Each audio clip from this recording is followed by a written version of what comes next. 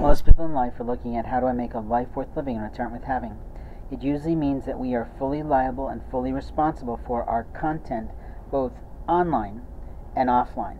You see, the marketing of your job is the marketing of you. The marketing of your personal brand is what you do. If you are sitting in the shadows, harming people's lives, playing games with their content, interfering with their intellectual property, deleting files on their computers, and interfering with their phone, my guess is that your personal brand has left you. You see, personal brand is what other people around you think of who you are. Personal brand is what we do in marketing to help someone who's got an idea, who's got a business, who's got a program that needs to promote it. Now, I might speak in a very unusual way today. I might do this to help people follow along.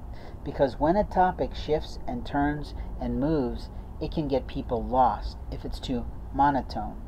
In life, we have moments of time to speak the truth, and I've been looking for some old videos on my YouTube channel, and I'm finding a lot has been deleted.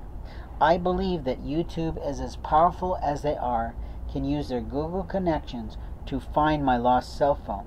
I also believe that they can find the person who has illegally and immorally contacted me through my channels. What I mean is that they're deleting videos.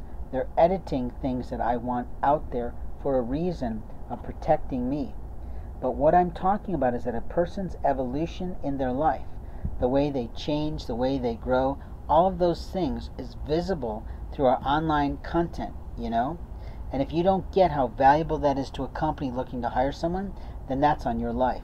But if you're interfering with someone's right to visit their old channel to pick out photographs to find videos they need, you are lying to yourself about rights.